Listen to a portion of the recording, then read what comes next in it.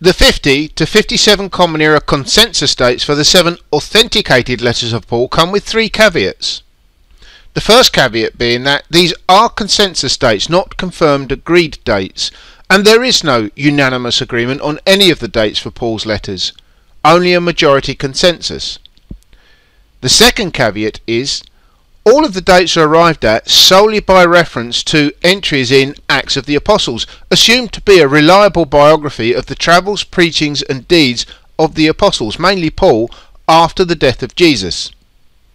The author or authors of Acts are assumed to be historians recounting historical events, but viewing Acts as historical content in order to date the letters of Paul is questionable. Acts is riddled with ridiculous, fantastic miracle claims.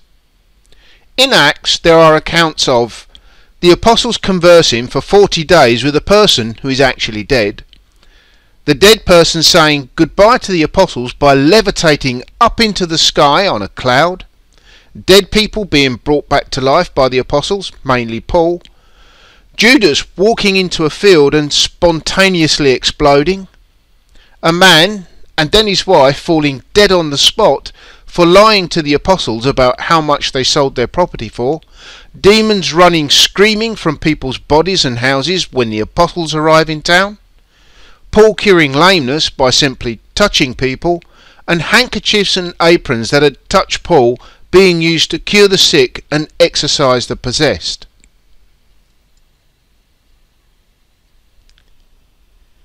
In addition to these somewhat ridiculous and physically impossible claims, we have the issue of a narrative which changes from Paul and they to us and we and back again on several occasions.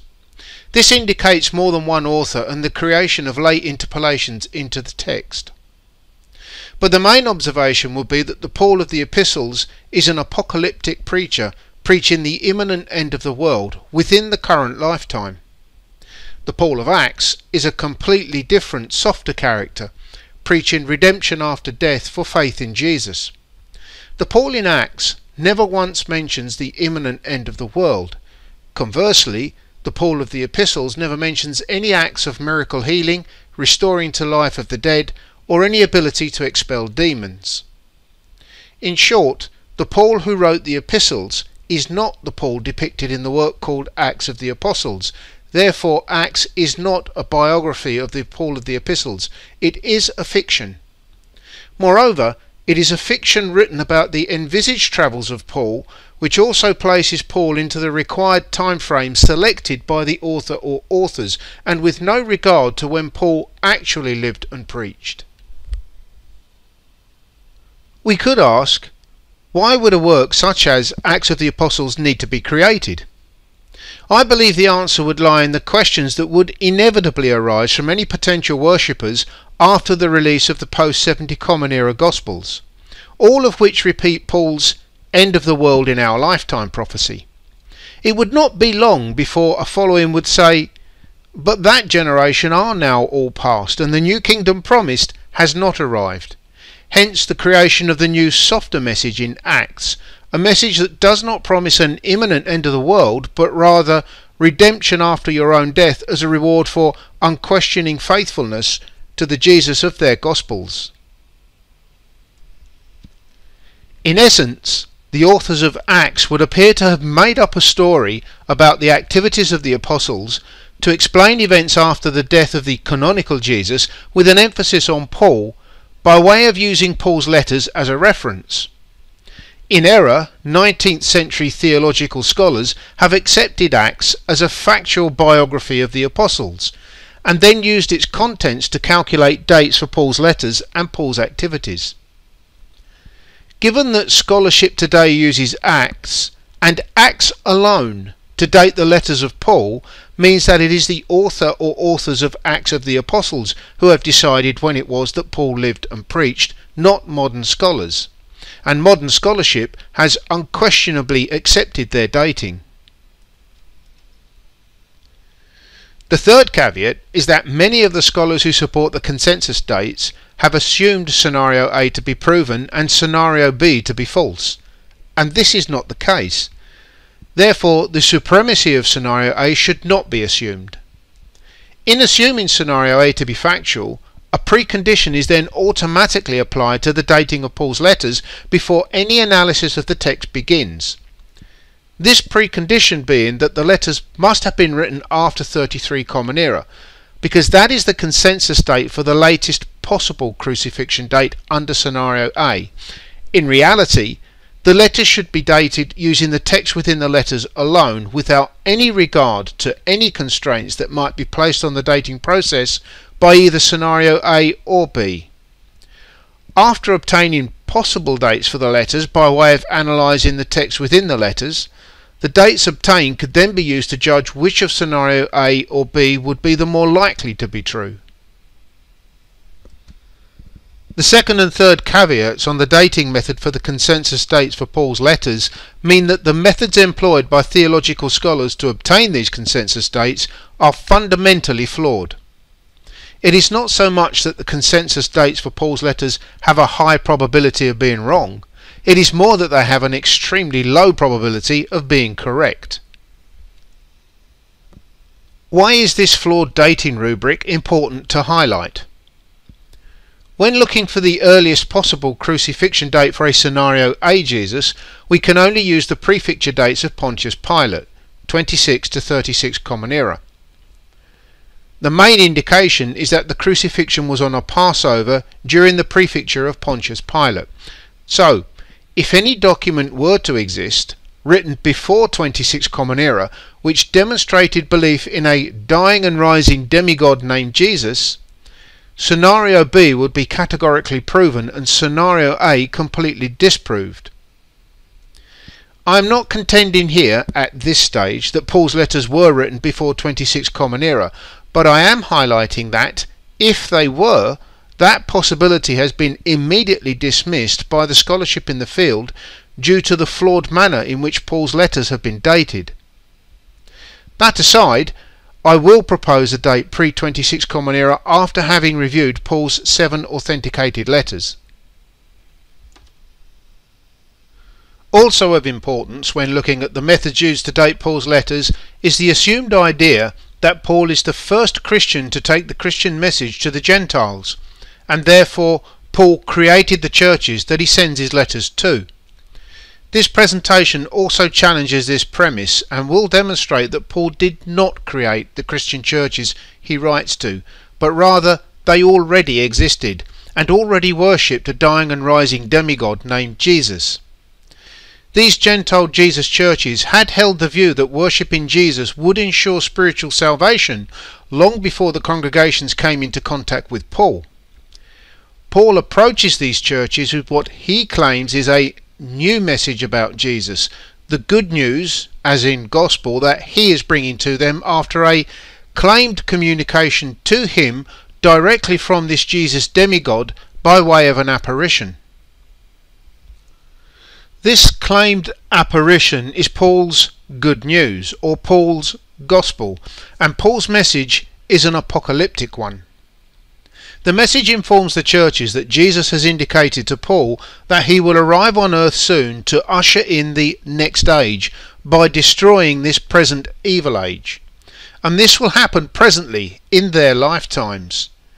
Paul therefore informs the churches of what they need to do to be ready and how to be right with God when the event occurs. The Christian conversions that Paul speaks of in his epistles are conversions from existing Christologies over to Paul's new apocalyptic message about Jesus, and alongside brand new converts to Christianity from among the congregations of the Gentile pagan religions. This approach to reading and dating Paul's letters is viewing the situation from a completely different angle to any that has gone before. But then, it is true to state there is no evidence to date that can be used to prove that the orthodox view of Paul creating the Gentile churches he writes to is accurate. We certainly cannot derive that situation from the text of Paul's letters alone. There is, therefore, no sound logical basis for assuming that the accepted consensus view is correct.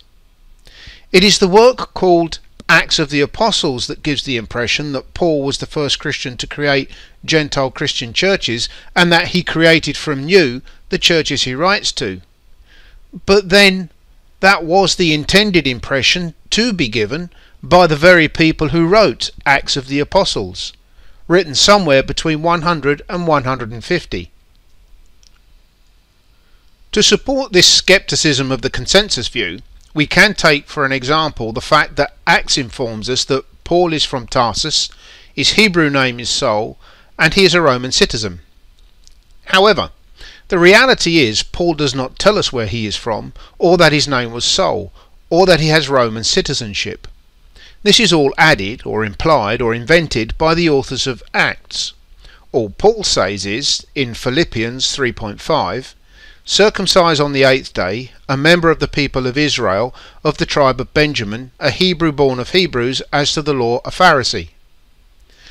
We therefore do not know where Paul was from, and with the present extant documentation we have no way to find out. There are many other examples we could interrogate here, but one major item is Paul being present at and overseeing the stoning to death of the first recorded Christian martyr, Stephen. This is in Acts, and only in Acts. Paul makes no such indication in his letters. Paul only claims to have formally persecuted the Church of God. And more to the point, there are many levels of persecution we could categorize, from simple verbal persecution through social persecution to physical and violent persecution. Paul does not indicate to us the level of persecution he conducted.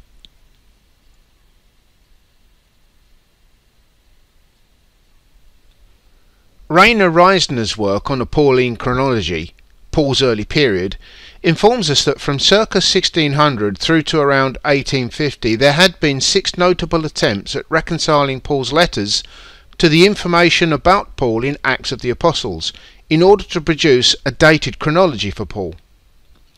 From 1850 to 1900 a further six chronologies had been proposed.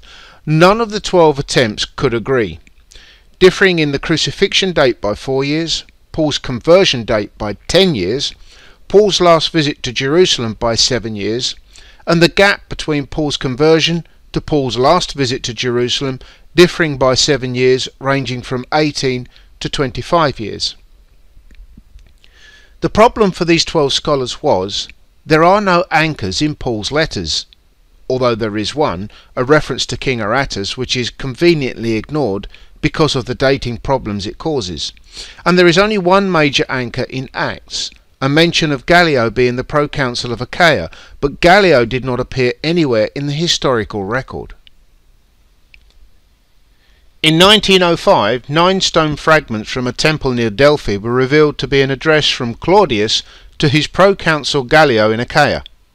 They were dated to 51 Common Era, and this was a significant find. It was a reference to the governor Gallio of Achaia mentioned in Acts 18.12. While Gallio was proconsul of Achaia, the Jews of Corinth made a united attack on Paul and brought him into the place of judgment. This meant, at last, scholars could use Acts to try to create a dated chronology for Paul's letters. So after 1905, work started in earnest. Riesner's work indicates that over the following 87 years, as at 1992, there are a further 17 attempts of noteworthiness at recording the order of Paul's letters, the order of Paul's travels, and the dates for Paul's main headline events. For all three of these attempted chronologies, not one of the 17 attempts are in accord, nor do they agree with the 12 previous attempts, 29 attempts in all. There are more, these are just the ones that Riesner highlights and discusses. Riesner's own work does no more than add disparate attempt number 30. This failure to find a convergent agreement for a chronology derived from a reconciliation between Paul's letters and his supposed biography in Acts is for a good reason. All the scholars attempting the reconciliation assume that scenario A is given and that Acts is a reliable history record.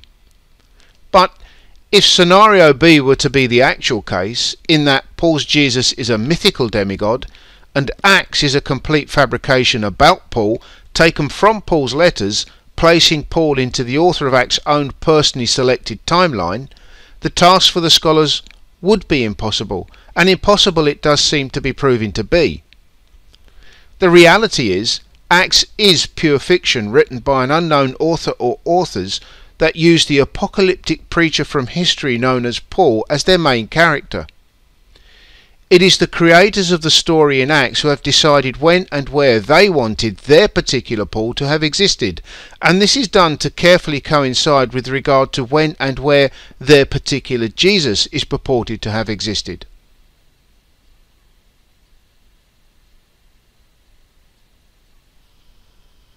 This concludes parts 1 and 2 of a six part presentation on the chronological evolution of Christ. In parts 3 and 4 I will critically review the seven authenticated letters of Paul to ascertain realistic dates for Paul derived solely from the content of the letters. So, unlike Riesner et al., without regard to any of the data from Matthew, Mark, Luke, John, or Acts of the Apostles, documents that did not exist at the time that Paul evangelized about his Jesus. Parts 3 to 6 of this presentation will also be posted to my YouTube channel Notori UK, so please do visit the channel and subscribe to be notified of when they arrive.